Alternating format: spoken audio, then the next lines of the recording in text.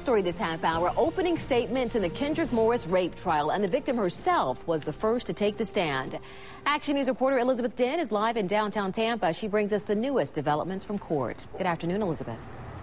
Dia, good afternoon. The former daycare worker was clearly nervous when she took the stand. She went on to tell the jury that it was very often she would arrive at the Claremore daycare where she worked, arrive there very early, around 5.30 in the morning. She'd be the first there and be all alone for about 30 minutes or so. And she did it because she'd make breakfast for the children there. But then it was one morning she was attacked at that same place where she taught kids. She was raped. This trial kicked off with state prosecutors talking to the jury in their opening statement statement saying they are confident evidence is what proves Kendrick Morris is guilty of raping the former daycare worker.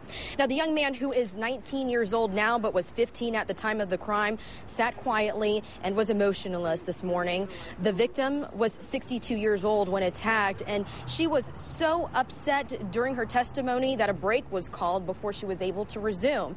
And before her emotional testimony, though, listen in as public defender Rocky Brancato asked the jury to scrutinize DNA evidence in this case.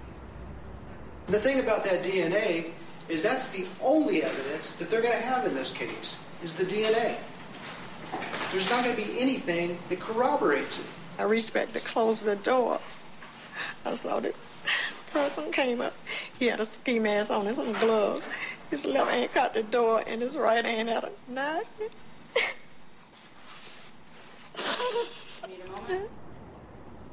I can tell you that there is also surveillance video that was caught at that daycare center. Although the rape suspect had on a ski mask, that is something that we know will be introduced to the jury later on in this trial, but hasn't been just yet. It is important to also note that Kendrick Morris is also accused of raping a teenage girl at the Bloomingdale Library several months after this daycare attack.